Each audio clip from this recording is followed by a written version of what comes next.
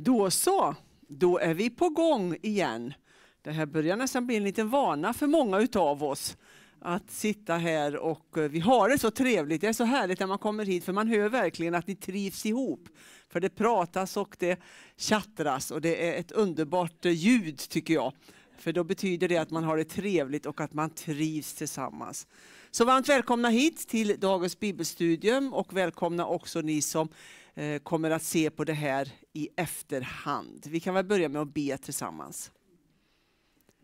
Vi tackar dig Jesus att vi får lämna den här stunden i dina händer. Och vi tackar dig för din gode heliga Ande som vill hjälpa oss att eh, förstå och eh, få ett större ljus över ditt ord. Vi tackar dig för profeten Amos och för allt det som han har gett oss. Och nu ber vi dig Herre att du hjälper oss nu att förstå den här sista delen också av Amos bok. Vi tackar dig att vi får lägga detta bibelstudiet för oss själva och för alla de som tittar på detta vid ett senare tillfälle i dina välsignade händer. Vi ber i Jesu namn. Amen. Ja hörni, tro det eller ej, men idag så har vi kommit till den sista delen av profeten Amos. Och vi har faktiskt samlats vid elva gånger tidigare, så idag är det den tolfte bibelstudiet vi har över profeten Amos. Och vi har ju fått lyssna på hans domsord över Israel. Och Amos levde, som ni säkert vet nu, på 700-talet före Kristus. Han fick sin profetia, tror man, 760 före Kristus. Han växte upp i en liten by som hette Tekoa, som låg utanför Betlehem. Och han var bonde, han odlade mullbärsfikon eller fattigmansfikon som det också kallades. Och han blev alltså kallad av Gud att gå till Israel, att gå till Nordriket som det också kallades och därför kunna dom över Israel. Men eftersom Amos var en äkta profet så gjorde han som alla äkta profeter gör. Han kom med domsord, men så öppnade han den här dörren som Herren alltid öppnar, om det är en sann profet, nämligen omvändelsens dörr. Eh, och det gjorde Amos också, har vi sett när vi har gått igenom hans brev eller bok eller vad man nu ska kalla det för, hans profetiska ord. Och jag tänker så här att komma till Israel som Amos gjorde och försöka få det religiösa ledarskapet och försöka få det politiska ledarskapet att lyssna till Herrens ord. Det kan inte ha varit lätt. Och jag tänker att det räcker med att vi tänker här i Sverige. Det är inte lätt för oss att få våra politiker och våra beslutsfattare att lyssna på Herrens ord idag. Så det var inte lätt då på Amos tid herre, heller. Och han var ju som sagt var en fattig bonde som vi ville lyssna på honom. Så han fick ett väldigt smart pedagogiskt knep av Herren som gjorde att han fångade eh, folkets öron i Israel. Därför han började då när han kom till Betel eller Gilgal eller Bersheba så började han så här att ropa ut dom över länderna runt omkring Israel. Så han sa så här, så säger Herren om Damaskus, så säger Herren om Gaza, så säger Herren om Tyrus, Edom, Ammon, Moab och så säger Herren om Juda.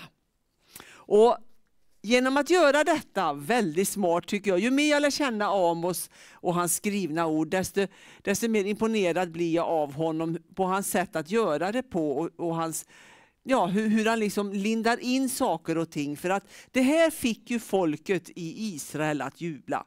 Som jag sa när vi gick igenom detta. Det är ju väldigt skönt att höra hur grannländerna får sin slev av skopan så att säga.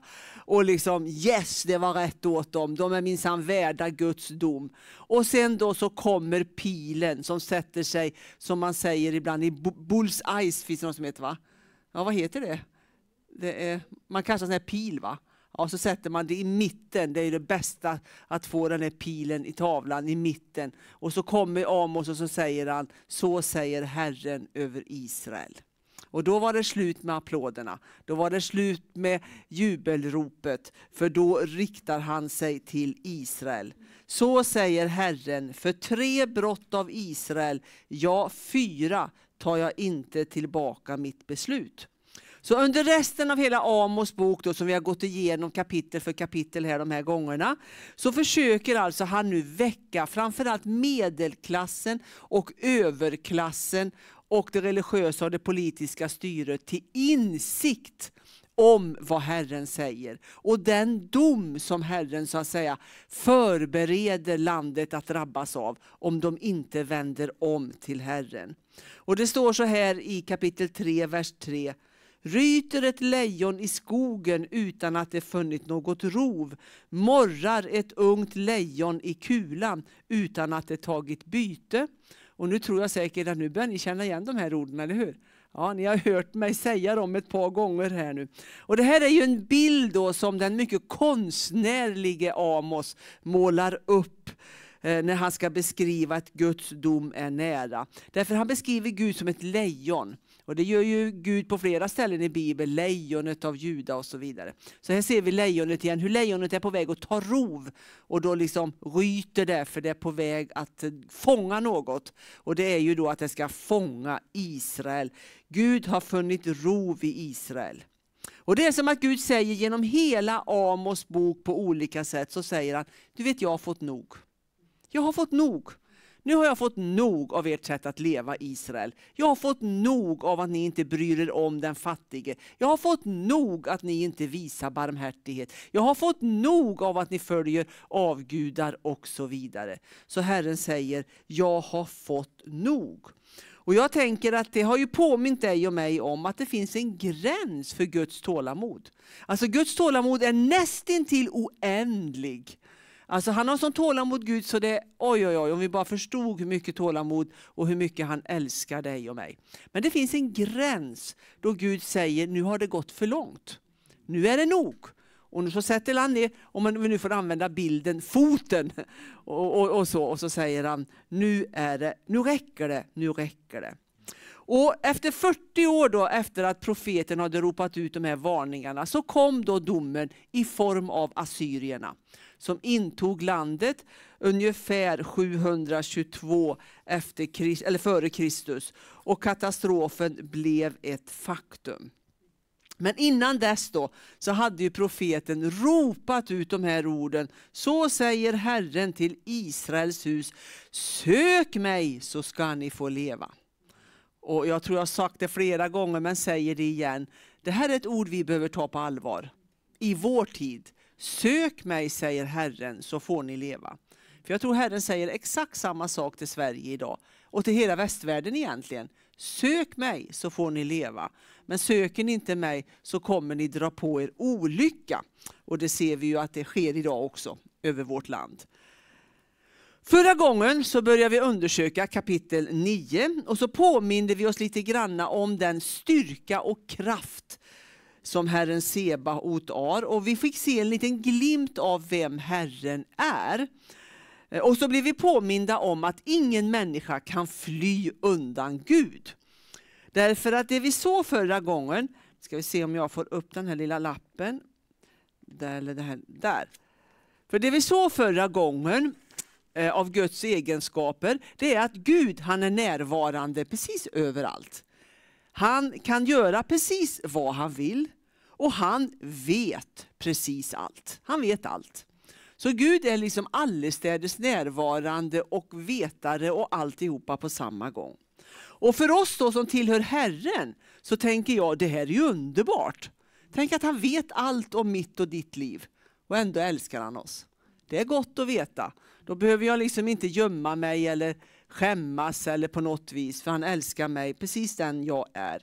Men för den som lever bortvänd Herren, och det kanske finns någon som lyssnar på det här nu eh, vid ett senare tillfälle här sen, som lever bortvänd Herren, då kan ju detta vara väldigt obehagligt.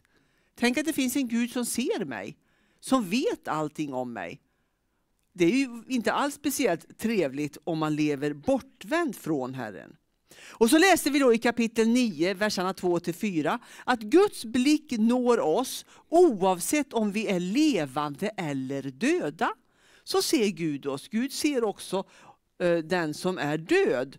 Så Gud ser allt. Och så läste vi också att vi kan klättra upp på ett högt berg, det högsta berget i världen, eh, och tro att vi kan gömma oss från Gud, men han ser oss där också.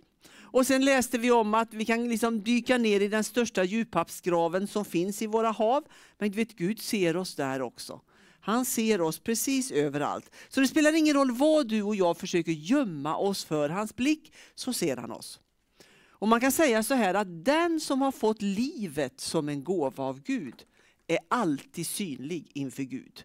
Så lever du så vet du att Gud ser dig. Därför det är liksom det som det innebär att leva. Det innebär att Gud ser oss. Och det är något väldigt positivt för den som känner Jesus. Och så fick vi ett gott råd av David Pafson. Han sa så här, om vi har gjort fel så är den bästa platsen att gömma sig på hos Gud. Mm. Många gånger gör ju vi tvärtom. Vi flyr Gud när vi har gjort någonting som vi vet inte är gott. Då flyr vi och försöker komma undan hans blick. Men det går ju inte. Så det bästa är att fly till honom och gömma sig i hans nåd och barmhärtighet och få förlåtelse för det som har blivit tokigt. Så det är gott för den som känner honom, men det kan vara obehagligt för den som ännu inte känner Herren. Och I slutet av förra gången då så såg vi hur det bara nu blev mörkare och mörkare för landet och att domen närmade sig. Och så läste vi här i vers 8 i Amos kapitel 9, vers 8. Så läste vi så här. Se, Herren, se, Herren Guds ögon är emot detta syndiga rike och jag ska utplåna det från jordens yta. Jättestarka ord alltså. Där Herren säger om Israel att jag ska utplåna er från jordens yta.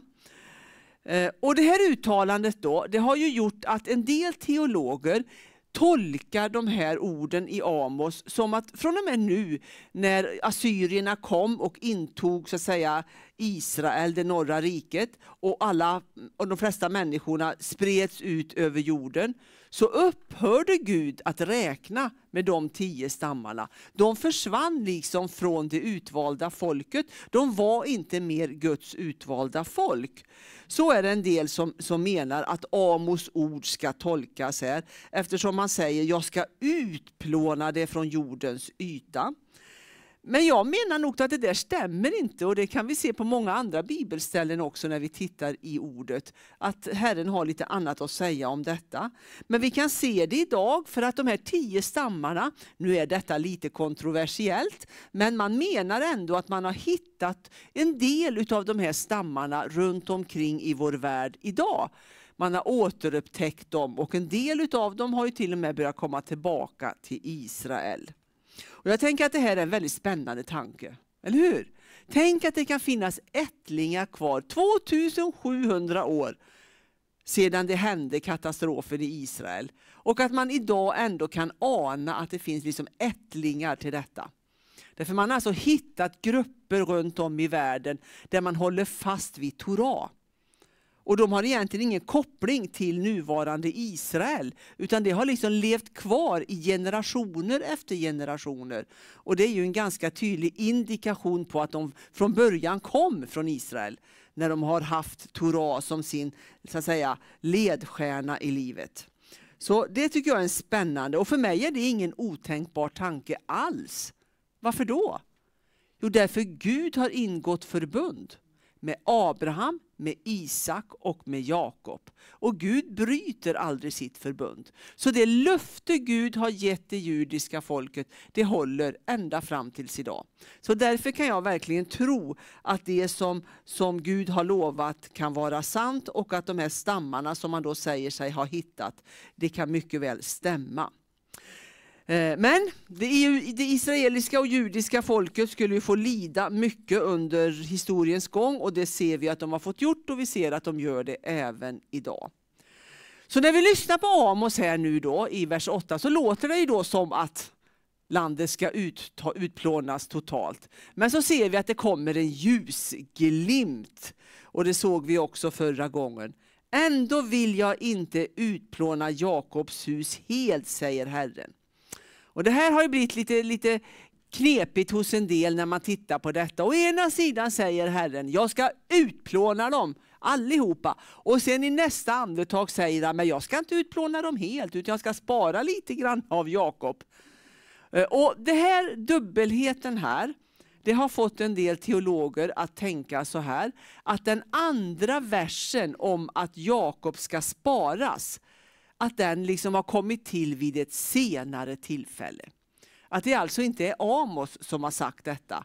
Därför man får inte ihop det här i huvudet när det är å ena sidan utplåning och å andra sidan spara. Då tänker man att nej, men då måste den där sista versen vara ditlagd eh, vid en senare tillfälle och att det inte är Amos som har skrivit detta, utan en annan författare. Och då är min fråga, varför kan inte Gud säga de här två sakerna i samma mening? Det är klart att han kan. Även om det i våra öron låter lite motsägelsefullt givetvis. Men det är klart att han kan säga det. Därför han har ett syfte med det han säger. Och läser vi vidare här för att bara påminna oss om de här sista verserna vi tog oss igenom förra gången. Så säger han ju i vers 9 att han ska sålla hela Israels hus. För se, jag befaller att Israels hus ska sållas bland alla hedna folk som man siktar ett såll. Och det betyder ju då, att ni vet jag berättade förra gången, ni som är lite äldre, ni har säkert sett sådana här såll där man hade med, med mjöl och sådär förr i tiden. Att om man sållar sådär så blir det ju några korn som ligger kvar i själva sållet. Och det är ju de kornen som så att säga är rena och de man kan använda kanske, eller så slänger man bort dem, det beror på vilken ordning man tar. Men, men i alla fall, några utav det försvinner och några stannar kvar. Så sållningen av folket skulle ju bli enorm. Eh, och det var ju så när assyrierna kom att de allra flesta blev antingen dödade eller utdrivna ur landet. Men det har alltid funnits en liten rest judisk befolkning i så att säga, den delen av Israel, då, Galileen och det, ända fram till våra dagar. Det har alltid funnits en viss del av judisk närvaro i Israel hela tiden. Så att alla försvann inte, utan han sparade en del. Och så säger han som sagt var några utav dem skulle dö. Vilka var det då som skulle dö? Ja, men då stod det så här i vers 10. Alla syndare i mitt folk ska dö för svärd. De som säger olycka når oss inte, den kommer inte i närheten av oss. Så här ser vi alltså den här stora blindheten som var för medelklassen, överklassen, det politiska och religiösa systemet. Eh, de som låg på bäddar av damast som vi läste om vid något tidigare tillfällen. De som trodde att allt var frid och fröjd och så kom plötsligt katastrofen så. Fast egentligen kom den inte så. Därför de hade hört talas om den. Men de trodde inte på att den skulle komma. Och det var de som så att säga fick dö när assyrierna kom. Och här får vi ställa oss frågan till oss, vi som lever i ett väldigt välmående samhälle på många sätt. Så att vi inte blir blinda och tror att allt står väl till, fast kanske står inte allt väl till i vårt land. Hörrni, nu så var det en liten snabb genomgång här av ganska mycket av Amos. Nu ska vi gå in på den sista delen och nu så vänder det. Nu går vi från mörker till ljuset. Nu kommer vi lyfta in den här slutprofetian som är fylld av ljus, av hopp, av framtidstro för det judiska folket. Och som vanligt då så finns det ju lite olika tolkningar omkring saker och ting. Och även här kommer vi märka att det finns lite olika sätt att se på detta. Nu läser vi Amos 9, 11 till 15. På den dagen ska jag resa upp Davids fallna hydda, mura igen dess sprickor och resa upp dess ruiner. Jag ska bygga upp den som i forna dagar, så att de kan ta i besittning vad som är kvar av Edom och av alla hedna folk över vilka mitt namn har nämnts, säger Herren som gör detta. Se dagar ska komma, säger Herren, då plöjaren ska följa skördemannen i spåren och druvtramparen såningsmannen, då bergen ska drypa av druvsaft och alla höjder flöda över. Jag ska göra slut på mitt folk Israels fångenskap. De ska bygga upp ödelagda städer och få bo i dem. De ska plantera vingårdar och få dricka vinet från dem. De ska anlägga trädgårdar och få äta deras frukt. Jag ska plantera dem i deras eget land. De ska inte mer ryckas upp ur det land som jag gett dem, säger Herren din Gud. Vilken underbar beskrivning, vilken underbar profetia Eh, att få till sig, speciellt när katastrofen har inträffat. Att få veta att det är inte slut, utan det finns en fortsättning, det finns ett hopp för folket. Och här ser vi alltså att Amos är en sån här äkta profet.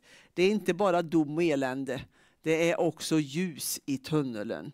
Gud överger inte sitt folk läste vi, utan han förbereder en ny start.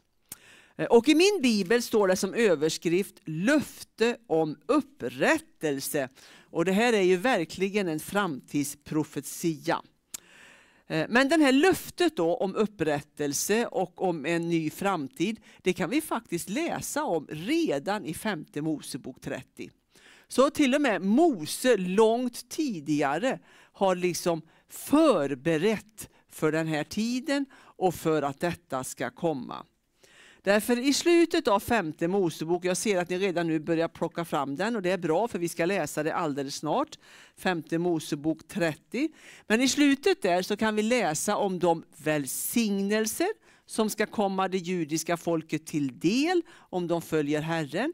Men vi får också läsa om de förbannelser som kommer folket till del om de inte följer eh, det Herren säger, Herrens ord. Men Herren, han visste ju redan från början att det judiska folket skulle vara ett mycket bångstyrigt, olydigt, obstinat, bråkigt folk på alla sätt. De skulle liksom inte bara lydigt säga ja visst herre, vi går din väg. De hade säkert ett hjärta någon gång i tiden som gjorde att de ville. Men det där folket har bråkat i alla tider och hållit på liksom. Och det visste Herren. Men vet du, han älskar dem i alla fall. Och det tycker jag är ganska gott för då kan han älska bråkiga mig också. Ja precis, dig med. Så är det. Ja. Så att han visste detta, så han, han liksom ordnade eller förut, förberedde redan någonting. Varför gjorde han det? Jo, därför att han ingick förbund med Abraham, Isak och Jakob och även med Mose och med kung David. Ni har ju alla förbunden vi har gått igenom en gång. Så därför så håller Gud sitt löfte, så han har redan förberett vad han ska göra när folket vänder honom ryggen och går sin egen väg. Nu har ni slått upp femte Mosebok 30.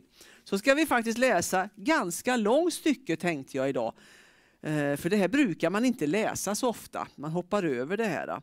Men vi ska läsa femte Mosebok 30, verserna 1 till och med 10. Och här står det, hör Guds ord, det gäller livet. Och det är likadant idag tänker jag. Hör Guds ord, för det gäller ditt liv. Så här säger Herren. När allt detta kommer över dig, välsignelser och förbannelser som jag har förelagt dig, ska du ta det till ditt hjärta bland alla de hedna folk dit Herren din Gud har fördrivit dig. Då ska du vända om till Herren din Gud och lyda hans röst i allt som jag idag befaller dig. Du och dina barn av hela ditt hjärta och av hela din själ. Då ska Herren din Gud göra slut på din fångenskap och förbarma sig över dig. Herren din Gud ska då åter samla dig från alla folk dit han har skingrat dig. Även om dina fördrivna skulle vara vid himmelens ände kommer Herren din Gud att samla dig därifrån och hämta dig därifrån. Vilket underbart löfte. Herren din Gud ska föra dig in i det land som dina fäder har haft till besittning och du ska besitta det.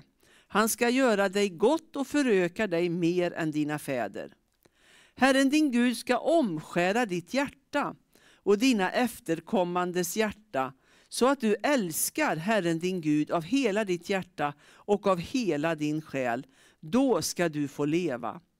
Och Herren din Gud ska lägga alla dessa förbannelser på dina fiender och på dem som hatar och förföljer dig.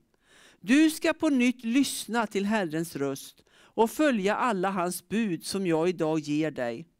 Herren din Gud ska ge dig överflöd i allt du företar dig och då och då det gäller dina barn, avkomman från din boskap och grödan från din mark. Så som Herren fröjdar sig över dina fäder ska han åter fröjda sig över dig och göra dig gott. När du lyssnar till Herren din Guds röst och håller hans bud och stadgar som är skrivna i denna lagbok och vänder om till Herren din Gud av hela ditt hjärta och av hela din själ. Vilket underbart löfte faktiskt måste man ju säga. Och, och, och, att Herren redan innan folket hade vänt sig om, innan de hade liksom gått en annan väg, så gav han detta löfte. För han visste att det här kommer inte gå väl. De kommer inte fixa detta. Så därför måste jag ordna en plan här så att de kommer under mina vingars beskydd. Så det är två saker Herren säger här i, i vad heter det, femte Mosebok. Det första han talar om här, det är att vid något tillfälle i historien så ska folket som då kommer att bli utspridda över jorden samlas tillbaka till landet Israel. Herren din Gud ska då åter samla dig från alla folk dit han har skingrat dig. Och Det här har ju skett vid lite olika tillfällen i historien. Ett tillfälle som vi känner till ganska väl, det är det som skedde på 500-talet före Kristus. För då var ju folket, man brukar kalla det för deportationen i Babylon. Och där var de i 70 år, kan vi läsa i profeten Jeremia. Och sen fick de komma tillbaka. Så det, det var ju en sån grej då, där, där Gud samlade dem tillbaka till landet. Eh, och det kan man tolka eh, att detta är en av de uppfyllelserna. Men så säger ju Herren här att, att, att han ska sprida ut dem över hela jorden. Och det var de ju inte när de var i Babylon. Det var inte hela jorden. Det var bara på den platsen där. Men vid något tillfälle, och det har vi också profetian i Amos, att, att liksom, han ska samla ihop dem så. Eh, de får komma tillbaka. Så här har vi alltså att, att Gud liksom ska dra tillbaka allt som, alla, all, när de är utspridda över hela jorden. Han kallar dem att återvända till Israel. Den andra delen då i det som Herren säger här, men, men en, en, en, sak till med den första delen. Han ska kalla dem tillbaka. När ser vi, kan vi se det idag? Ja men det ser vi ju idag. va? Idag ser vi hur Gud faktiskt drar folk från hela jorden, från alla jordens ändar. Så drar han det judiska folket hem till Israel igen. Eh, och oftast tyvärr så sker ju detta på grund av den antisemitism som vi ser idag, som frodas även i vårt land, vilket är mycket obehagligt. Eh, men det gör också att folket idag funderar runt omkring i världen om man inte ska ta sitt pick och pack och ändå flytta, som man då okay, säger, hem till Israel. För det är det enda stället där man är beskyddad idag som jude. För man lever ganska farligt, framförallt i västvärlden idag. Så att idag ser vi hur detta börjar uppfyllas. Han drar dem tillbaka till sitt land. Så det ser vi idag. Men den andra delen som man säger här i femte Mosebok, det har inte skett än. Eller det har skett väldigt lite, det har skett på en del. De har inte fått sina hjärtan omskurna. Nej, de tror inte på Jesus som sin Messias. Det är några få fortfarande om man ser till det stora hela. Men det börjar ju komma mer och mer, men det är ändå väldigt lite än så länge. Utan den dagen väntar ju vi på med spänning. Därför Herren har lovat att en rest av det judiska folket ska få upptäcka att Jesus är deras Messias. Så det kommer ske vid något tillfälle i historien. Och vi tror väl att vi är ganska nära den tiden. Så när vi då läser om den här underbara framtidsvisionen då som vi har i Amos, så kan vi ana att, att han på något vis bara, bara fördjupar det som Herren har sagt i femte Mosebok. Det som Gud sa till Mose det fördjupar nu Amos. Eh, och han liksom påminner folket om detta när katastrofen ändå har skett. Så det var ju ett löftesord som folken fick ta åt sig, som kan jag tänka mig var väldigt gott i deras hjärtan. Att det finns en framtid som ändå är ljus, även om de just då inte såg den framtiden. En dag ska Gud återupprätta folket. Om vi går tillbaka till Amos här nu och tittar lite mer på de här sista eh, eh, det, versarna så kan man dela in dem i lite olika delar. Men jag följer just nu en teolog som heter David Pafson som ni har hört mig säga förut. Och han delar in det Amos säger i tre delar. Så låt oss nu gå och titta på det. Han delar in det på det här sättet. Först så pratar Herren, säger han om kungamakten i vers 11-12. Sen pratar han om saker som ska ske i naturen, verserna 13-14. Och sen pratar han då nationellt om landet i vers 15.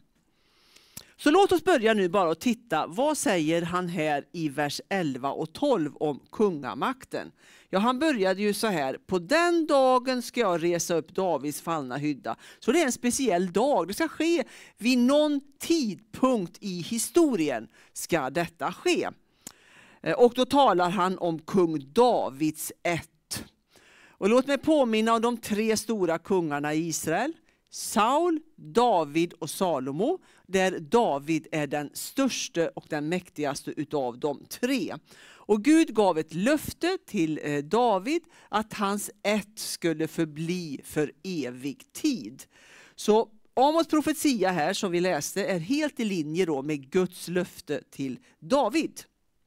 Så en dag, säger han här, så ska Gud återigen resa upp Davids fallna hydda eller tabernakel eller sukkot, beroende på vilket, ingen översättning du vill. När ska det ske? Det är ju en spännande fråga. Ja. Och här finns det då lite olika uppfattningar som ni förstår. Här kommer de här olika teologiska uppfattningarna som vi har. Och Det beror lite grann på hur man läser Apostlagärningarna 15. Därför i Apostlagärningarna 15 så kan vi läsa om historiens första kyrkomöte. Det har ju funnits några kyrkomöten genom historien och i de här kyrkomötena som har varit så har det liksom eh, beslutats om väldigt viktiga frågor för den kristna tron. Så här har vi det första kyrkomötet. Och då kan man fundera lite omkring detta. Vad samtalade man om där? Ja, vad samtalar man om i Apostlagärningarna 15? Jo, det man funderade över som var den stora frågan de första åren efter Jesu död och uppståndelse. För då var det ju i början bara judar som kom till tro på deras Messias. Inga utav oss hedningar.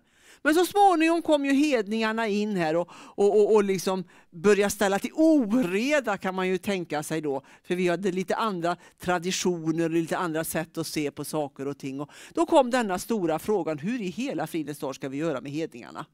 Alltså hur ska de få plats i Guds folket? Eh, så nu har, nu har vi nästan tvärtom idag i vår hednakyrka. Då tänker vi, hur ska vi få plats med det judiska folket? Hur ska vi hantera dem? Men på den tiden var det tvärtom. Då, då tänkte judarna, hur ska vi hantera hedningarna? Hur ska de komma in med sina konstiga traditioner och matvanor och alltihopa? Hur skulle de kunna bli ett Guds folk? Så det här var en väldigt laddad fråga kan vi förstå i det första kyrkomötet. Vad skulle man göra med alla dem, alla vi? Så låt oss nu gå till Apostlagärningarna 15. Så ska vi bara läsa vad lärjungen Jakob, alltså Jesu halvbror, vad han har att säga om Petrus eller Simon som man kallas här i Apostlagärningarna 15. Så vi går till Apostlagärningarna 15 och så läser vi verserna 13 till 18. Och det vi läser här i Apostlagärningarna 15, det, kan, det, det, det, läser vi på en minut. Men det här var troligtvis dagar, kanske veckor man hade suttit och diskuterat det här. Så det här är ju sammanfattat av hela diskussionen som man hade omkring detta. Men då läser vi 13 till 18 så får vi se om vi känner igen någonting av detta. När de hade talat färdigt sa Jakob, bröder hör på mig. Simeon har berättat om hur Gud först såg till att han vann ett folk åt sitt namn bland hedningarna. Det stämmer överens med profetens ord där det står skrivet Därefter ska jag vända tillbaka och åter bygga upp Davids fallna hydda. Jag ska bygga upp dess ruiner och upprätta den igen, för att alla andra människor ska söka Herren, alla hedningar över vilka mitt namn har nämnts. Så säger Herren som gör detta, det som är känt från evighet. Känner ni igen det? Det var lite från profeten Amos va? Det började som profeten Amos. Så här tar man alltså fram exemplet från Amos bok, det vi precis läste, och så gör man en parafrasering av det. Alltså man plockar in det Amos har sagt och så, och så känner man att man har frihet genom den heliga Ande att förändra lite granna orden så att det också räckes ut till oss hedningar. Så här vidgas ju perspektivet i det som Amos säger här i Apostlagärningarna 15. Och det får vi ju ta till oss för det är ju ifrån vår bibel. Eh, och då kan man säga att här finns det två olika, eller säkert massa olika synsätt, men framförallt två olika synsätt. Och det ena synsättet har man då, det är om man är det jag brukar kalla för ersättningsteolog. Och det ordet har jag använt många gånger. Och en ersättningsteologi, då menar man att kyrkan har ersatt Israel. Då menar man att, att alla de löften som Gud gav till Israel i Gamla Testamentet, de är nu liksom tillägnat kyrkan och den kristna församlingen.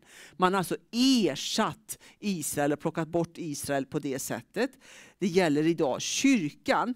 Och då menar man att det Amos talar om här då, och som apostlagärningarna lyfter fram, eh, det är att det handlar om Jesus. Eh, och det kan vi ju faktiskt hålla med om att det gör. Det, det, är liksom inget konstigt alls, utan detta handlar om, om Jesus. Jesus är ju av Davids sätt och det är ju genom hans namn som vi hedningar också kan bli en del av Guds folket. Så det är vi jätteöverens om. Men sen skiljer vi oss åt en hel del.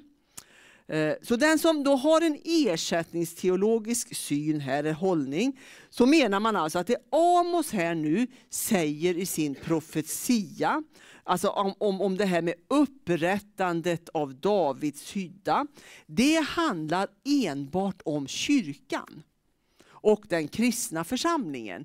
Att det är det som så att säga, man kan läsa ut i Apostlagärningarna 15. Att, att, att liksom, den kristna församlingen, när vi tar emot tron på Jesus, då upprättas Davids hydda. Det handlar alltså om den kristna församlingen. Löftet gäller inte Israel, utan löftet gäller kyrkan. Det nya förbundet som upprättas i och med Jesus. Så det är så man lite grann, nu kanske inte alla håller med som är ersättningsteologer, man kan tänka så, men ungefär så här menar man nog när man ser på det här. Men om man inte har den synen då, utan att man tänker sig att löftet till Israel står fast, att det Gud har sagt i sitt ord, det är inte utbytbart, utan det gäller det judiska folket.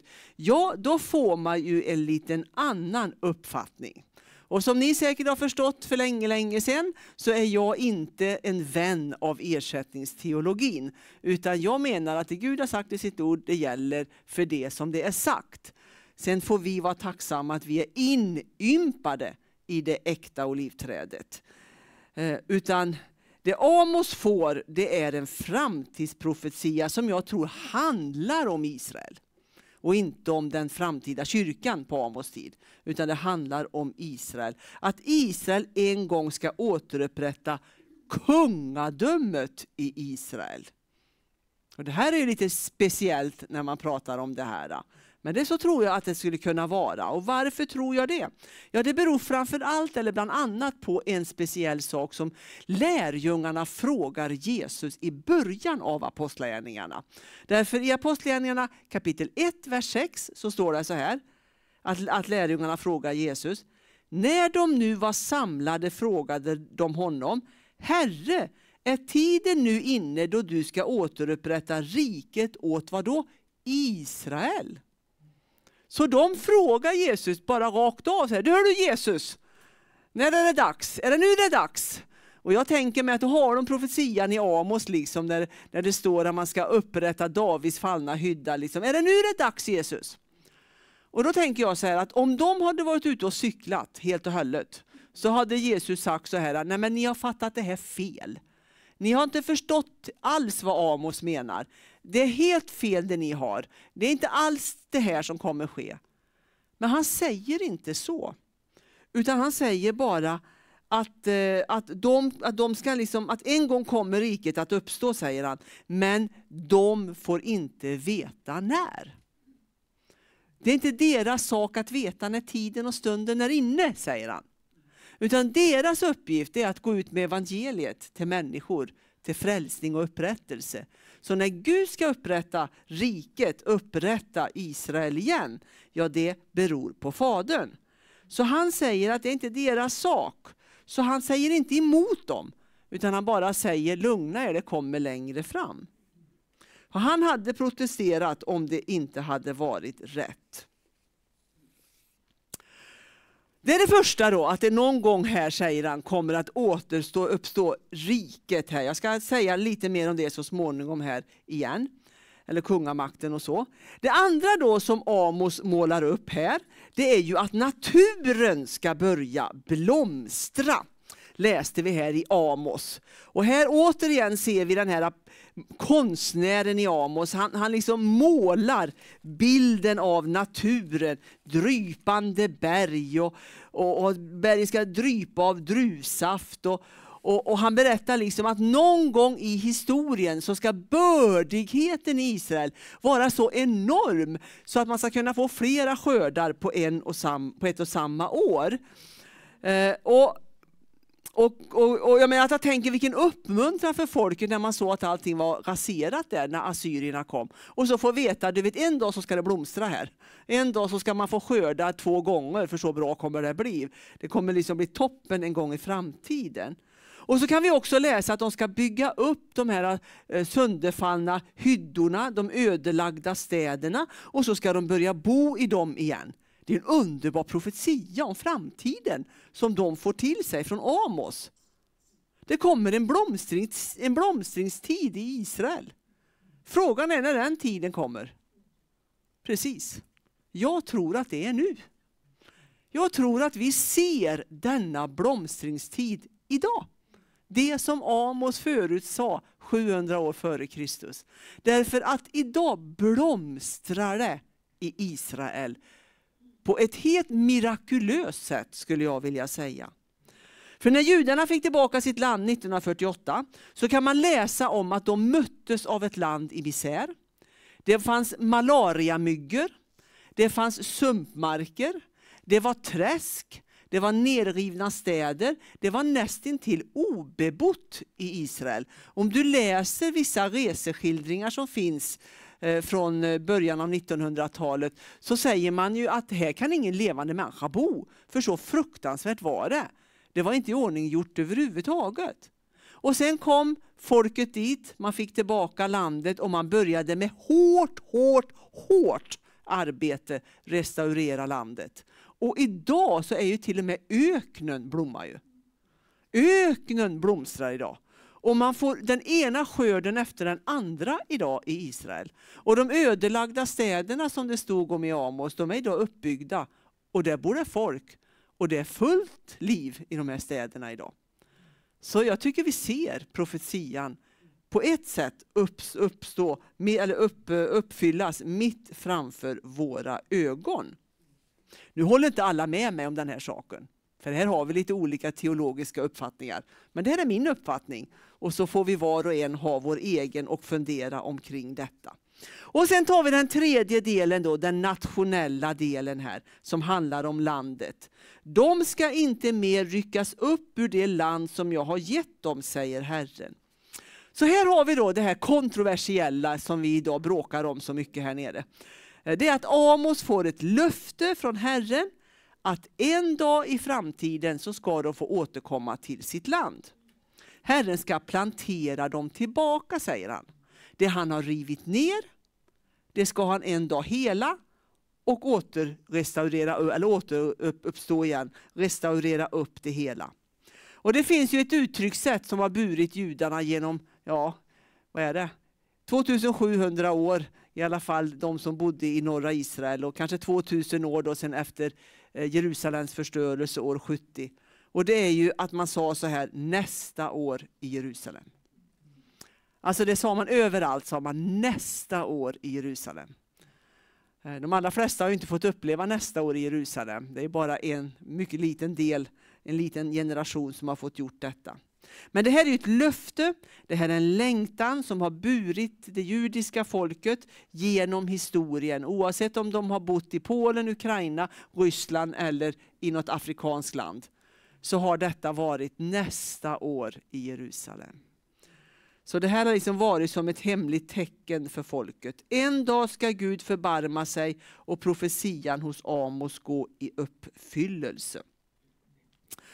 Och om ni delar min teologiska syn, för givetvis så finns det olika syn på detta, så är det ju i de här frågorna. Men om ni delar min teologiska syn så kan vi idag se att denna del också går i uppfyllelse framför våra ögon. Därför att folket är idag, kommer tillbaka som jag sa, Herren drar ihop dem just nu över hela världen. Gud återigen planterar in dem i löfteslandet. Så det vi ser då i slutet av Amos här, det är ju att två utav de här tre löftena då, som vi kan, ut, uh, vi kan se i profetian, naturen och det nationella med landet, de två är ju liksom, ja, de börjar ju uppfyllas idag. Men det vi inte ser idag, det är ju den här kungamakten. Det ser vi ju överhuvudtaget inte idag. Den har inte kommit till Israel. De har ingen kung som styr landet överhuvudtaget. Utan de har en premiärminister som ni vet som heter Benjamin Netanyahu. Det är ju han som leder landet. Kommer de att återigen, eller kommer de ju återigen få en kungamakt i Israel? Hur kommer det ske? Ja, hörde ni, det vet vi inte än. Det vet vi inte än. Och tanken om en kungamakt, det kan man nästan tycka är på gränsen till galenskap. I alla fall när vi tittar ut över tillvaron och världen idag och läser i tidningar och ser på TV, så kan man ju ändå tycka att hur ska det där gå till? Men ni vet Gud, han är miraklernas Gud. Ja, han är miraklernas Gud. Han är kung och miraklernas Gud. Han kan göra det omöjliga möjligt. Mm, den som lever får se. Men vi ska läsa vad det står i Hesekiel 37. Hesekiel 37. Och så ska vi läsa verserna 21 till 22. Hesekiel 37, vers 21 till 22. Och det här är, ett, alltså hela Hesekiel 37, det är så spännande. Så alltså läs hela hemma ikväll eller någonting. Det, det är så intressant. Men nu läser vi vad står i vers 21 till 22. Säg sedan till dem, så säger Herren Gud. Se, jag ska hämta Israels barn ut från det folk dit de kommit. Jag ska samla dem från alla håll och föra dem in i landet. Ja, det har vi pratat om. Det var ju en del av Amos profetia. Jag ska göra dem till ett enda folk i landet på Israels berg och det ska alla ha en och samma kung. De ska inte mer vara två folk och inte mer vara delade i två riken. Och så kan man läsa vidare, det är jättespännande. Därför att när Amos fick den här profetian, då var inte folket enat. Därför då fanns det ju ett land som hette Judarike, två stammar, och ett land som hette Israel, tio stammar. Men så säger Herren här att vid något tillfälle i historien så ska de här två rikena föras samman till ett rike. Och de ska ha en kung. Precis, Jesus, som jag tror också att det är, givetvis. Ja. Och idag ser vi ju då hur de här två rikena förs ihop i Israel idag. Om det nu är så att man har hittat en del av de tio stammarna och att de kommer tillbaka till Israel idag. Så då är detta på väg att uppfyllas framför våra ögon.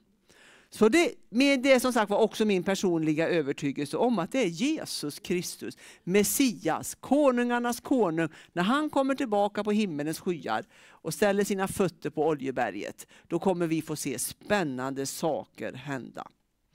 Men det här får vi bara gå i tro. De här två sakerna ser vi ju med våra ögon. Men det här får vi bara tro, för vi ser det inte än. Utan det här är ju en trosak i våra liv. Att vi tror ordet och att det är det vi tror att det ska ske. För tittar vi på vad som händer som sagt var i Israel och Mellanöstern idag så kan man nästan tro att man är galen när man säger så här. Men eh, ja, ordet har visat sig vara sant innan. Så då tror vi att det kan vara sant också detta. En dag ska Jesus regera från Jerusalem. Ja, kommer detta nu att ske då? Jag vill bara ha några tankar omkring detta. Sen ska vi snart säga amen över bibelstudiet över Amos. Kommer detta ske eller är det ersättningsteologin som har rätt? Jag vill ändå jobba lite till med den frågan. Har den kristna församlingen övertagit alla löften eller inte? Då tycker jag David Pavson här, han har gett mig en liten tanke här som jag tycker är spännande. Jag är inte helt klar med det, men det kan finnas lite granna i det han säger. Han säger så här, kan det vara så att både ersättningsteologin och också vi som tror att löftena till Israel gäller Israel, att vi kan ha rätt båda två? Det tycker jag var en intressant tanke, för den tanken har jag aldrig hört innan. Men, men han, han menar och säger att kan det vara så att båda två kan ha rätt? Därför att under två, 2000 år snart så har den kristna församlingen spridit sig. Det är helt klart att det är så. Den kristna kyrkan har verkligen vuxit i antal, i kraft och i styrka och den hedna, och den hedna världen har kommit till tro på Jesus Kristus. Eh, och det har inte det judisk, den judiska världen gjort, utan det är vi som har kommit till tro på det. Och det står ju så i Apostlagärningarna 15 som vi läste. Jag ska bygga upp dess ruiner och upprätta den igen för att alla människor ska söka Herren, alla hedningar över vilka mitt namn har nämnts. Och det här har hänt och det händer idag. Hedningar får upp ögonen för vem Jesus är idag, denna sekund som jag står här. Det sker, och det har skett i 2000 år, att hedningarna har blivit upprättade och fått möta Herren. Det händer hela tiden. Men betyder det att Gud har tagit bort sin, sin, sitt ansikte från det judiska folket? Betyder det, som en del menar, att Amos då säger att han har förkastat hela folket? Eller kan man ha de här två bitarna sida vid sida? Jag tror att man kan ha dem vid sida vid sida, eventuellt. Men det jag kan säga nej till det är att Gud har inte förkastat sitt folk. Det har han inte gjort. Kommer inte göra det. Varför då? Ja, vad är det Paulus säger till exempel i Romarbrevet, 11 och 1? Jag frågar nu, har Gud förkastat sitt folk? Verkligen inte, säger Paulus. Och så kan du läsa ännu mer om detta i Romarbrevet. Så redan på Paulus tid fanns den tanken att Gud har förkastat det judiska folket. Men på, det, på, den, på det påståendet och den tanken säger Paulus väldigt kraftfullt om man läser i grundtexten, har jag förstått här. Absolut inte! Det är inte bara att han säger verkligen inte. Utan det är liksom med, med ifrån tårna och upp, va? kom inte på snack om detta. Utan Gud har fortfarande kvar sin hand över det judiska folket. Gud har inte förkastat dem, men han har på något vis ställt dem åt sidan under ett tag. 2000 år kan man säga. För under den här tiden så har du och jag fått möjlighet att ta emot Jesus i våra liv. Men nu verkar det som att tiden för det judiska folket börjar komma och att de också ska få upptäcka evangeliet. Paulus talar om i Romarbrevet, du får gärna gå hem och läsa Romarbrevet 9, 10 och 11, så talar han om att Gud har brutit av grenarna och det är då de judiska grenarna. Men har han brutit av de grenarna som är äkta, säger han, så kan han också ympa in de äkta grenarna i vinstocken igen. För har han kunnat ympa in en vildoliv, som är du och jag, in i den äkta, in i den äkta vinstocken som egentligen inte går. Men han kan det. Då kan han ju hur lätt som helst sätta in de äkta grenarna igen när de vänder om och söker Herren. Han har inte förkastat sitt folk. Tiden för deras omvändelse ligger i Guds planering. Och vi får bara se fram emot det med spänning. Och jag tror att det är farligt att förkasta det judiska folket och Israel. Varför då? Jo, därför när Gud gav löftet till Abraham i första Mosebok 12 sa han, jag ska välsigna dem som välsignar dig och förbanna dem som förbannar dig. I dig ska jordens alla släkter bli välsignade. Och det har vi blivit genom Jesus Kristus givetvis. Men här säger Herren att den som förbannar det judiska folket kommer Gud att förbanna. Och den som välsignar det judiska folket kommer Gud att välsigna. Du och jag, i alla fall jag, jag ska inte prata med dig, du kanske fattar mer än jag. Jag fattar inte riktigt vad som händer i Israel idag. Jag tycker det är jättejobbigt det som sker där nere. Men det gör inte att jag släpper det Gud har sagt i sitt ord. Därför Gud har fortfarande en tanke med det judiska folket och landet.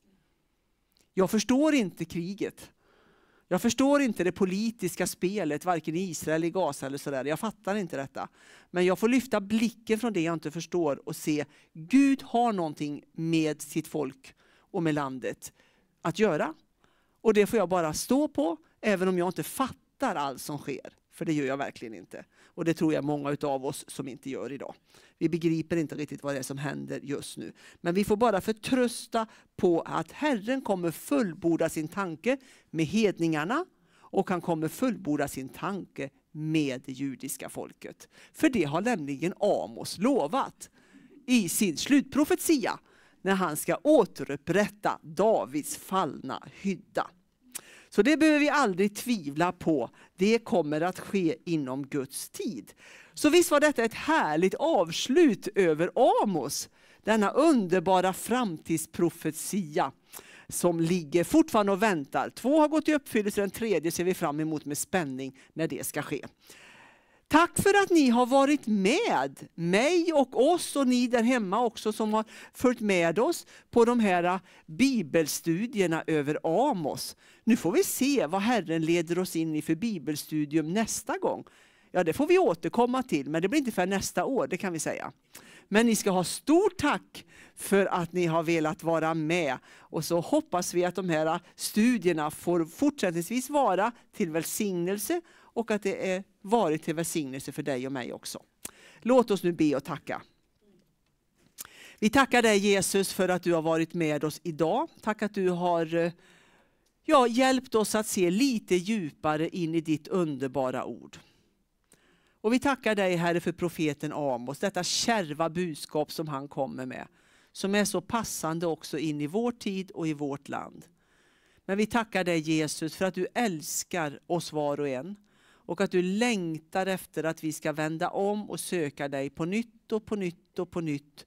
I våra egna liv och i vårt eget land. Tack att vi får be Herre för vårt land utifrån Amos. Herre, vi är ett land med stor rikedom. Vi är ett land med ganska hög svansföring på många sätt. Men Herre, hjälp oss att ödmjuka oss inför dig. Du som är skapel, skapelsens Herre. Hjälp oss Herre att söka dig, vi som är dina barn. Och hjälp oss Herre att du vill liksom hjälpa oss att be och ropa för vårt lands frälsning. Ja, vi tackar dig Herre för att vi också får välsigna Israel och välsigna Jerusalem och tala ut fred över landet. Herre, vi förstår inte allt som sker, men vi ser vad du säger i ditt ord.